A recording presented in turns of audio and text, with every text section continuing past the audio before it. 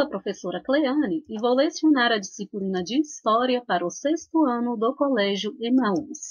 Pessoal, esta aula será para revisão do conteúdo que nós já vimos. Como é uma revisão, gente, não dá para explicar tudo de novo, né? Eu vou pegar aquelas informações que são mais importantes, tá? Mas precisa voltar nas videoaulas e precisa estudar no livro também. Vamos começar falando sobre o que é pré-história, os períodos da história antes da escrita. Pré-história foi um termo criado pelos europeus e se refere ao período da história em que o ser humano ainda não tinha desenvolvido a escrita. Quando usa esse termo pré-história, gente, é preciso ter muito cuidado, porque dependendo do contexto, este termo pode ter um, um significado pejorativo, um significado preconceituoso. É, dependendo do contexto, o termo pré-história pode, indi pode indicar né, que os povos que desenvolveram a escrita são superiores àqueles que não desenvolveram a escrita. Ou que os povos que não desenvolveram a escrita não têm uma história, e na verdade não é isso. Na realidade, esses povos têm uma história, inclusive deixaram registro da sua história, por meio de pinturas rupestres, por meio de artefatos, tá bem? Os períodos da, da história antes da escrita, eles se dividem em três é paleolítico, neolítico e a idade dos metais. O paleolítico é o maior desses períodos. Foi na idade dos metais, no, durante o período da idade dos metais, que o ser humano ele vai desenvolver a escrita. Nós vamos entender por quê. Porque vai surgir a necessidade do ser humano começar a registrar as informações, né? O paleolítico, gente, ele vai de mais ou menos 5 milhões de anos antes de Cristo é, há mais ou menos 10 mil anos antes de Cristo. Neste período vão acontecer várias mudanças que vão permitir ao ser humano é, a sua sedentarização. Vamos entender também. O Neolítico ele vai de mais ou menos 10 mil anos antes de Cristo a mais ou menos 5 mil anos antes de Cristo. A idade dos metais vai de mais ou menos 5 mil anos antes de Cristo até mais ou menos 4 mil anos antes de Cristo. Então, todos esses períodos antes da escrita são períodos que, se, que estão localizados na pré-história. A história é tudo o que acontece após a escrita, após o surgimento da escrita. Durante a pré-história, é, esses povos eles vão ser nômades, depois eles vão se tornar sedentários, eles vão se organizar em civilizações, em sociedades mais complexas. Vamos entender o paleolítico. Vamos entender o termo paleolítico. Paleo, velho, lítico vem de pedra. Pedra velha ou idade da pedra lascada. Eles usavam a pedra de forma mais rudimentar, a pedra lascada mesmo, como ferramenta, como objeto. É, é, nesse período, gente, que o ser humano ele vai aprender a fazer o uso e o controle do fogo. E isso vai ser fundamental para a sua proteção e para a sua alimentação. Suas armas nesse período, suas ferramentas, são ferramentas mais simples, são ferramentas de pedras, de madeiras e também com ossos e dentes de animais. Neste período, esses povos, essas sociedades, elas eram caçadores-coletores. O que, é que quer dizer isso? Eles viviam da caça de animais e da coleta de frutos. Eles eram nômades também. Nômades quer dizer que não tem moradia fixa, que precisa se deslocar constantemente de um local para o outro, à procura principalmente de alimento e por questões é, ambientais também, por conta de mudanças climáticas. É, é neste período que vão acontecer várias mudanças climáticas. Nesse período que o ser humano, gente, ele vai conseguir povoar todo o planeta. Vamos fazer a análise deste mapa aqui. Cerca de 20 mil anos, grossas camadas de gelo cobriam grandes áreas da Terra, reduzindo o nível dos oceanos e o aparecimento de trechos de terras. Este mapa está mostrando para gente o deslocamento desses primeiros seres humanos, né, desses hominídeos, saindo do continente africano, que é onde surgiram os primeiros agrupamentos humanos, em direção aos outros continentes. Vamos entender pela legenda. A parte mais escura corresponde à área inicial de ocupação humana. Vamos observar ali na África, na Tanzânia, né, que onde foi encontrado o fóssil de Lucy, que é o fóssil mais antigo encontrado, né? A área mais clara é a área povoada até 40 mil anos atrás, corresponde a essa região aqui da África, a essa parte aqui da Europa, né, a Península Arábica, ao sul e sudeste do continente asiático, a Austrália, né? Então, primeira ocupação dos grupos humanos. Eles vão se deslocar em direção à Península Arábica e da Península Arábica eles vão em direção à Europa e em direção ao sul e sudeste do continente asiático criando é, núcleos de povoamento, povoando essa região, né? Saindo do sul asiático, eles vão passar para a Austrália e vão seguir em direção à Rússia, passando pelo centro, a região central ali da Rússia. Passando pela Austrália, gente, acredita-se que esses povos eles vão chegar ao continente americano, na América do Sul, por meio de navegação, porque o espaço ele é muito grande para que eles pudessem fazer a travessia a pé. Passando pela Ásia, eles vão atravessar o Estreito de Bering e vão chegar na América do Norte, da América do Norte, eles vão se direcionar para o restante do continente americano. O continente americano, pessoal, ele foi o último continente a ser povoado. Vamos lembrar lá das teorias de povoamento do continente, que existem quatro teorias. Uma falando que eles saíram, passaram pelo Estreito de Bering e fizeram a travessia a pé. Outra, que eles passaram pelo Estreito de Bering, fazendo a travessia por, com embarcações outras que eles passaram, passaram pela Oceania, né, passando ali pela Austrália, fazendo a travessia a canoas, a embarcações. Né? A teoria mais aceita, gente, é a teoria do Estreito de Bering, que eles passaram por essa região, chegaram no continente é, americano, pela América do Norte, e que povoaram o restante do continente.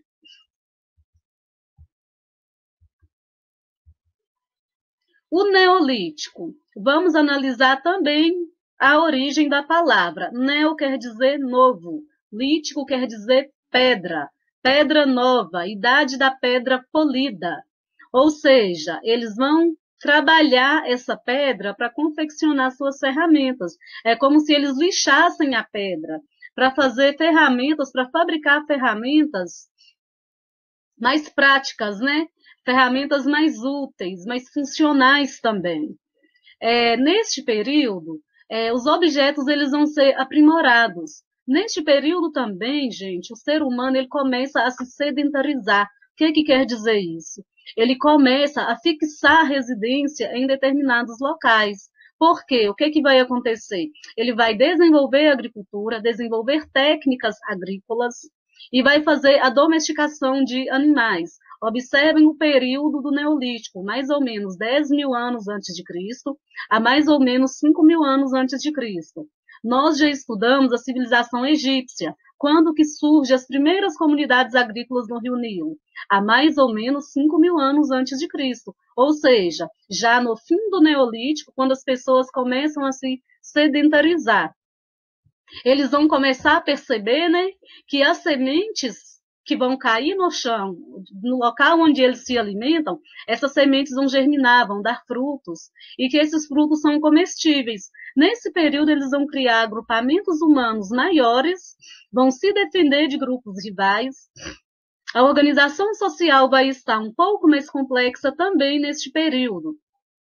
Eles vão criar regras de convivência e nesse período também eles vão começar a armazenar e dividir os alimentos. É nesse momento que começa, tem-se a ideia de comércio, de trocas. É, com o desenvolvimento da linguagem, eles vão comunicar-se melhor e grupos vão se unir. Quando os grupos se unem, eles vão conseguir se proteger, vão conseguir é, se, se livrar né, de grupos rivais E à medida que eles vão se unindo, que a população vai crescendo, eles vão conseguindo povoar uma área maior, principalmente regiões mais férteis, tá? Idade dos metais. A idade dos metais vai de mais ou menos 5 mil anos antes de Cristo até mais ou menos 4 mil anos antes de Cristo. Neste momento, a pedra, gente, aos poucos ela vai deixando de ser usada. O ser humano ele vai descobrir a arte de fundir metal, de usar o metal para fabricar suas ferramentas principalmente o bronze, que era um metal mais maleável, né? Esse metal ele vai ser derretido em altas temperaturas. E a partir daí, o ser humano vai conseguir fabricar suas armas, suas ferramentas. Neste período, as aldeias elas vão se transformando em cidades. Os agrupamentos populacionais vão se tornando maiores, mais complexos, mais bem organizados, as tarefas são mais divididas. Neste período surge a hierarquia social, né? É, um que tem um poder maior vai controlar os demais. Lembrem-se, Rio Nilo, sociedade egípcia. Olha o que, que aconteceu com a civilização egípcia, tá? Em relação à sua organização social. É, as comunas, gente, vão passar a ser controladas pelos mais poderosos. As comunas são as terras, né, são as propriedades que são comuns a todos. Vão surgir diferentes grupos sociais na Idade dos Metais. E é a partir daí que vão surgir as grandes civilizações. Lembrem-se, esses povos, né, esses agrupamentos humanos vão acontecer às margens de rios, principalmente, que são locais mais férteis, locais mais produtivos.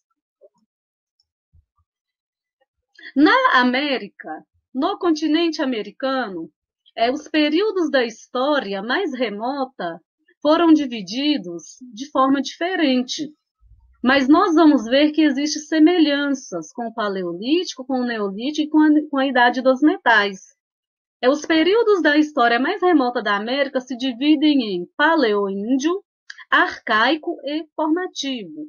O Paleoíndio, gente, ele é antes ou após 20 mil anos antes de Cristo, até aproximadamente 8 mil anos antes de Cristo.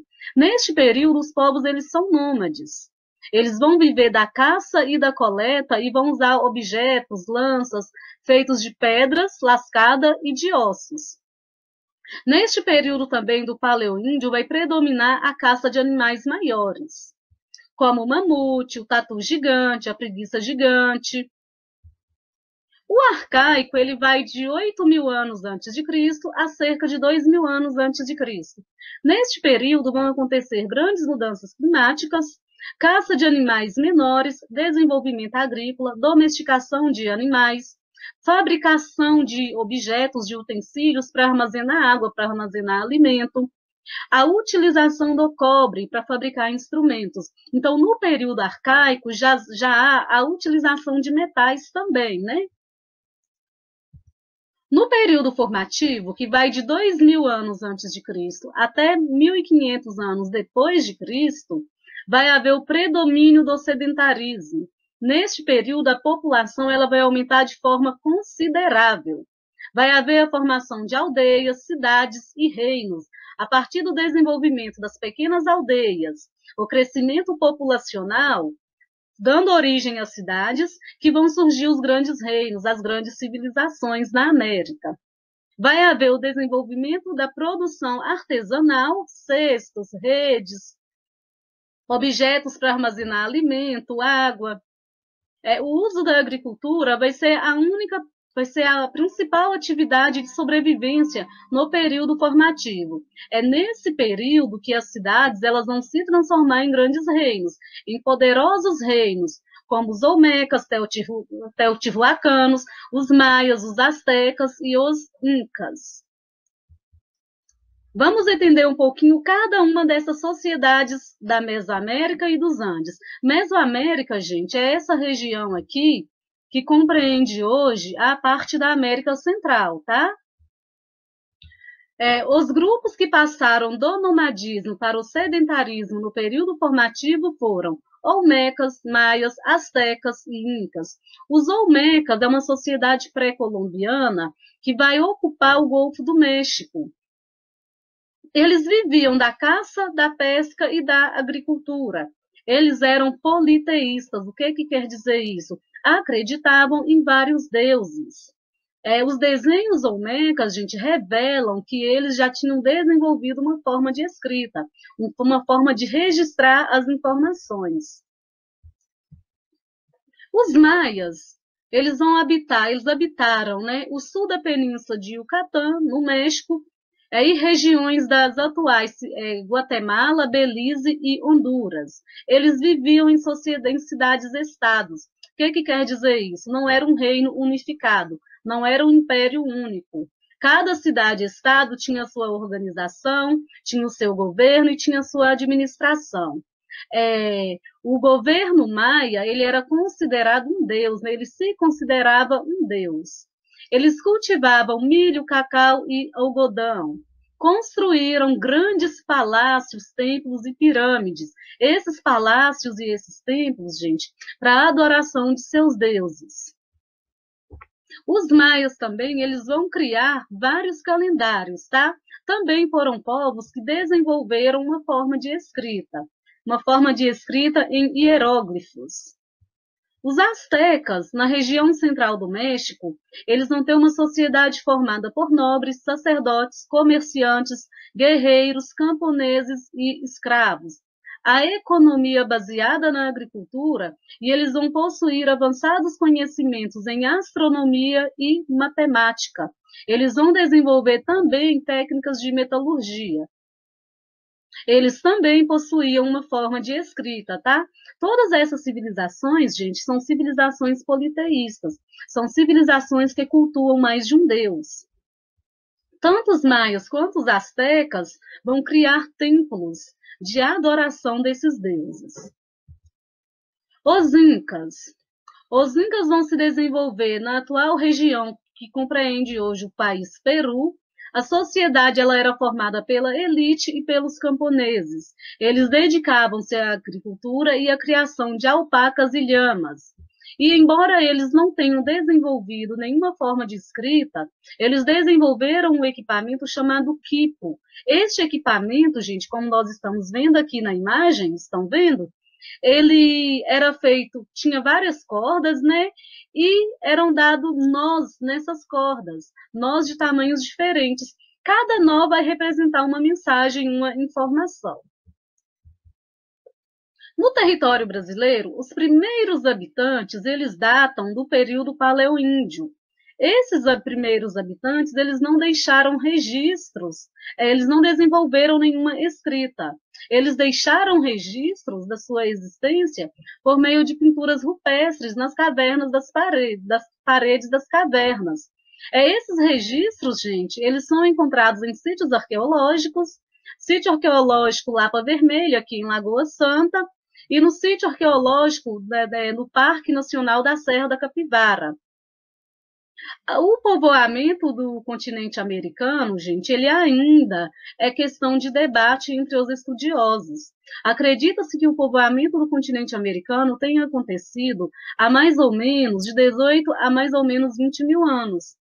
Só que vários estudos né, desenvolvidos por uma pesquisadora que chama-se Miele Guidon indicam que este povoamento aconteceu há mais de 50 mil anos. Esses estudos dessa pesquisadora são, embas, são embasados em, em, registros encontrados aqui nesse sítio arqueológico, Parque Nacional Serra da Capivara. Então, esses registros, essas descobertas, vão contestar a teoria que os primeiros humanos chegaram aqui no continente há cerca de 20 mil anos, tá?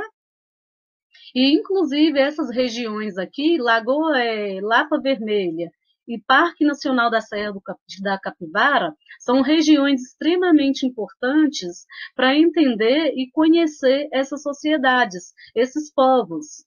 É, na, aqui na, em Lagoa Santa, no, na, no sítio arqueológico Lapa Vermelha, vai ser encontrado o fóssil de Luzia. O fóssil de Luzia, gente, estima-se que ele tenha entre em torno de 11.500 anos, que ela tenha vivido, né, há cerca de 11.500 anos. É, Luzia, né, ela recebeu essa homenagem em função do fóssil de Lucy, que foi encontrado na África, que é o fóssil de hominídeo mais antigo encontrado. É, Luzia, ela foi um hominídeo que viveu no período do Paleoíndio, e essas feições que a gente está vendo aqui de Luzia foram feições construídas de forma computadorizada, para que relembra, né, para tentar identificar como que era a Luzia. Este outro fóssil aqui é um crânio masculino que foi encontrado na Serra da Capivara, no estado do Piauí. Civilização egípcia. Vamos falar um pouquinho sobre essa civilização. É a civilização egípcia, gente, ela vai surgir é, em função do Rio Nilo, graças ao Rio Nilo. Por que graças ao Rio Nilo? No período de cheias do Rio Nilo, as margens desse rio vão se tornar férteis. O humus que vai ser depositado nessas margens vão tornar o terreno propício ao desenvolvimento da agricultura. Como o continente africano passou por várias transformações, né, neste período, na paisagem, essa região do Rio Nilo vai atrair pessoas que vão se sedentarizar ali às margens do Rio Nilo. Essas pessoas, os nomos, vão formar comunidades agrícolas. Essas comunidades agrícolas vão crescer e vão, vão ser é, organizadas, administradas por um nomarca. O nomarca é o que vai controlar a construção de diques, a produção agrícola, porque a população vai aumentar, a produção, a produção também vai aumentar. Então, é preciso de alguém para controlar o, o excedente da produção, né? Posteriormente, vai criar-se o Alto Nilo, o Alto Egito e o Baixo Egito, de acordo com a localização dessas comunidades agrícolas às margens do Rio Nilo. Quando isso acontece, vai haver a junção desses dois impérios desses dois reinos, do Baixo Egito com o Alto, com o Alto Egito. É Menés, do Alto Egito, vai dominar o Baixo Egito. Então, vai formar um império único, um império unificado, o Império do Egito. Essas imagens aqui, gente, coroa branca, coroa vermelha, quer dizer, a coroa branca representa o Alto Egito, a coroa vermelha, o Império do Baixo Egito. As duas coroas juntas, vermelho com branco, quer dizer que unificou, formou-se um império só. É, no, ao, no Império Egípcio, né, gente, essa civilização egípcia, ela vai ter como governo o faraó. Vai, ah, vai ter neste, nessa sociedade um governo teocrático. O que, que quer dizer isso? O governo, o faraó, ele é o governante e ele representa o Deus ele é considerado um deus. A sociedade egípcia, ela vai ser dividida de acordo com a posição que cada pessoa ocupa. No topo dessa sociedade nós temos o faraó, que é considerado deus vivo. Nós temos os sacerdotes, os burocratas, os militares, camponeses e escravos na base dessa sociedade. É, os camponeses e escravos compunham maior parcela dessa população, tá, pessoal? Os escribas, gente, que são extremamente importantes nessa sociedade, são aquelas pessoas que sabem ler, que sabem escrever, eles vão fazer parte aqui é, dos burocratas, tá? Quando, gente, a, a unificação do Alto Egito com o Baixo Egito, vai formar-se um império único. Esse, essa unificação, esse império único, vai dar início ao que nós chamamos de período dinástico. O período dinástico é quando as famílias elas vão sucedendo o poder no governo. Este período dinástico ele vai ser dividido em três fases: Antigo Império, Médio Império e Novo Império. E durante esse, esses períodos, né, essas fases, nós vamos ver que o Império Egípcio, né, a sociedade egípcia, ela vai entrar em declínio. Ela, o Império Egípcio ele vai ser conquistado por outros povos.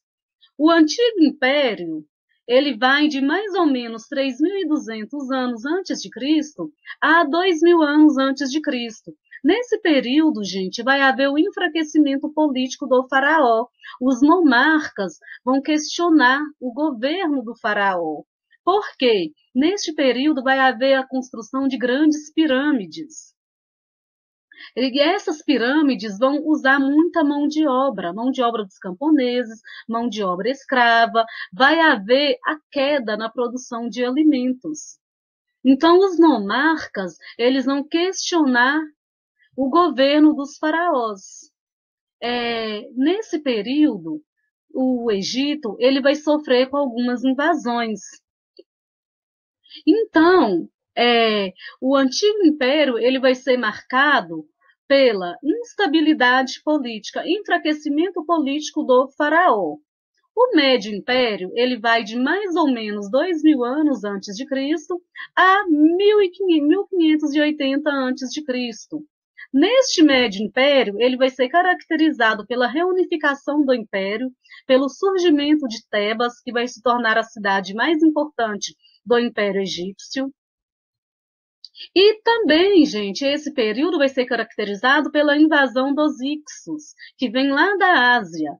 Por que, que isso vai ser importante? Porque os Ixos vão trazer para os egípcios vários conhecimentos vão trazer, é, os, os, egípcios vão aprender com os ixos é a arte de manusear metais, de fundir metais. Vão aprender com os ixos o uso de cavalos, o uso de animais. Então, neste período do Médio Império, ele vai ficar marcado pela invasão dos Icos e dos Ixos e pela reunificação desse império, voltando o governo, o poder para o faraó para os faraós. O novo império, há uma coisa que a gente não pode esquecer. O Médio Império, é, ele nesse período, os egípcios vão conseguir fazer a expulsão dos Ixos. Os egípcios eles vão dominar a arte da guerra quando eles vão travar batalhas com os Ixos, tá bem?